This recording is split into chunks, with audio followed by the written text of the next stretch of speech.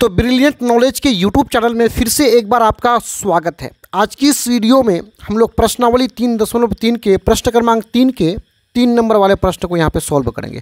तो प्रश्न क्या है? पहले इसको समझते हैं। देखिए क्वेश्चन है क्वेश्चन की एक क्रिकेट टीम के कोच ने कोच मतलब जो क्रिकेट टीम के खिलाड़ियों को खेल सिखाता है कोच ने सात बल्ले छः गेंद, अड़तीस में खरीदी, यानी यहाँ से यहाँ आपका एक समीकरण बनेगा, इसको ध्यान रखिएगा।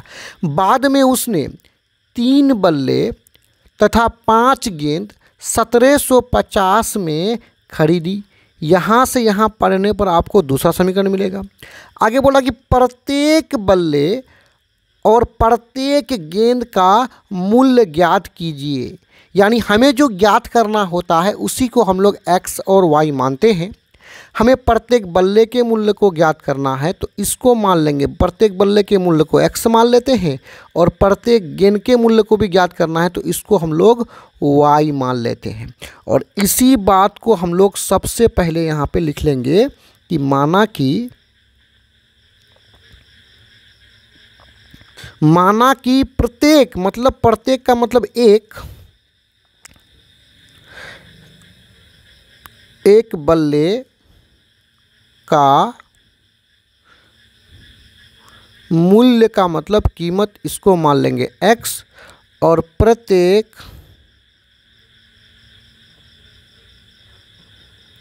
क्या है?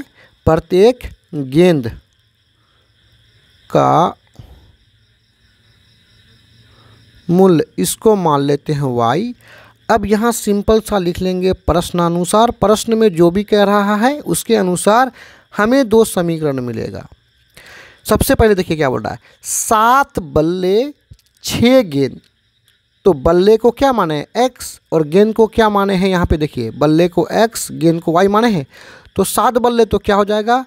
सात बल्ले तो सात एक्स क्योंकि बल्ला बराबर एक्स माने हैं। प्लस करेंगे छः गेंद है, गेंद को हम लोग वाई माने हैं तो कितना हो जाएगा? प्लस छः वाई बराबर कितना? अड़तीस सौ रुपया। ये समीकरण एक हुआ। अब दूसरा समीकरण को देखिए। तीन बल्ला तो बल्ला को एक्स माने हैं तो कितना हो जाएगा? तीन एक्स प्लस उसके बाद क्या? पाँच गेंद। तो गेंद को हम लोग क्या माने देखिए ना वाई माने हैं कि नहीं माने तो पाँच गेंद तो पाँच वाई हो जाएगा बराबर। कितना दाम है उसका? सत्रह सौ पचास टका। इसको समीकरण दो। अब इन दोनों समीकरणों को हम लोग प्रतिस्थापन विधि से हल करेंगे तो एक्स और वाई का मान हमें मिल जाएगा। तो देखिए, प्रतिस्थापन विधि से हल करने के लिए क्या करेंगे? समीकरण एक से हम लोग एक्स के मान को निकाल लेंगे। अब समीकरण एक से वाई के भी मान को निकाल सकते हैं। तो एक से निकालना है तो यहाँ पे लिख लेंगे समीकरण एक से और अपने पास समीकरण एक है सात एक्स प्लस छ वाई बराबर अड़तीस सौ। अब x का मान निकालेंगे, इस तरफ़ सात एक्स रह जाएगा, इधर अड़तीस सौ है छः वाई को इस तरफ़ करेंगे तो माइनस छः वाई और x बराबर हो जाएगा, यहाँ पे है अड़तीस सौ माइनस छः वाई एक्स के साथ सात गुना के रूप में है, इधर आके भाग लग जाएगा, इसको समीकरण तीन मानेंगे। अब ये जो x का मान है, इसे हम समीकरण दो में रखेंगे। दो में इसलिए क्योंकि ये जो x का मान है, इसको हम लोग किससे निकाले हो? समीकरण एक से निकाले हो ना? तो एक में नहीं रखना है। किसमें रखना है? दो में, दूसरे वाले में रखना है। तो उसी बात को लिख लेंगे कि समीकरण दो में x का मान रखने पर।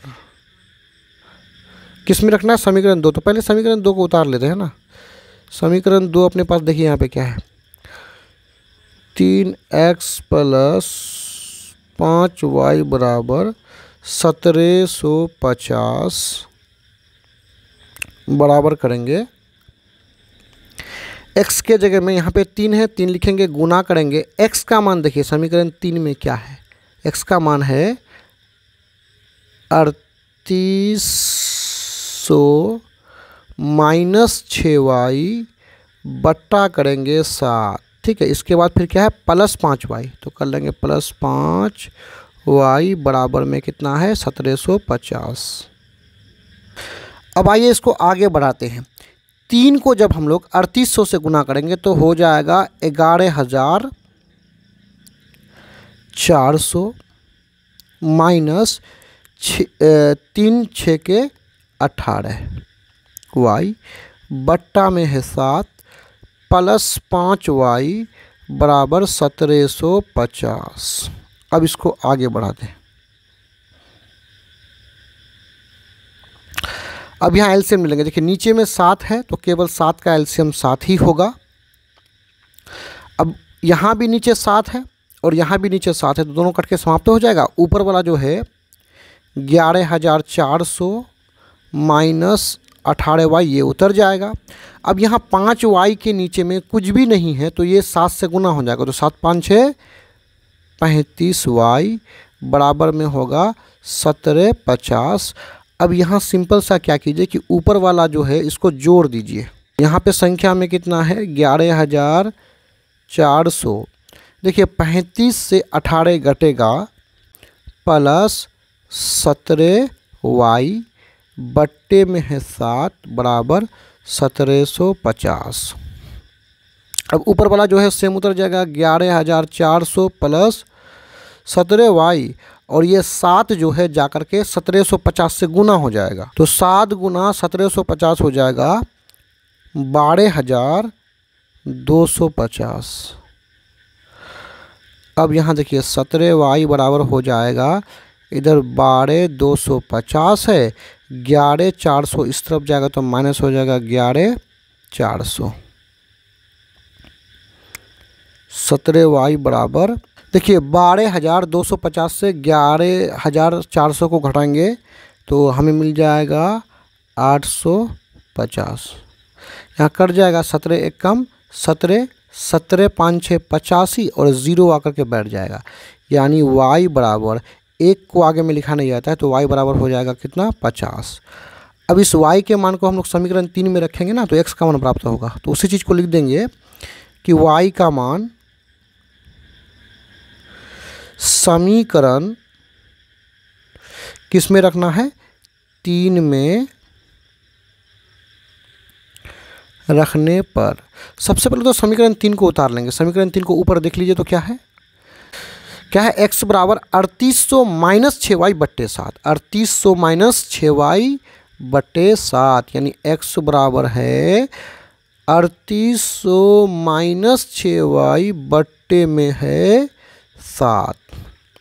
अब इसको सोल्व कर दीजिए। देखिए, अड़तीस सौ माइनस छः गुना वाई का मान है पचास। पचास को यहाँ पे रख देंगे, बट्टे में हो जाएगा सात, बराबर करेंगे अड़तीस सौ माइनस छः गुना पचास हो जाएगा तीन सौ बट्टे में सात है। अड़तीस सौ से तीन घटेगा तो हो जाएगा पैंतीस सौ बट्टा में सात है।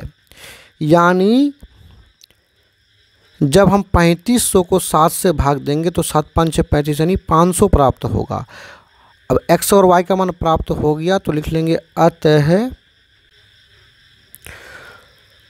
प्रत्येक बल्ले का मूल्य को हमने एक्स माना था और एक्स का मान अभी भी देखिए कितना प्राप्त हुआ है? पाँच सौ। मूल्य में रुपया में होता है तो यहाँ पे रुपया लिख दीजिए। और प्रत्येक गेंद का मूल्य इसको क्या माने थे? Y, और y का मान देखिए कितना प्राप्त हुआ। Y का मान प्राप्त हुआ है यहाँ पे देखिए पचास। तो y का मान कितना हो गया? पचास रुपया।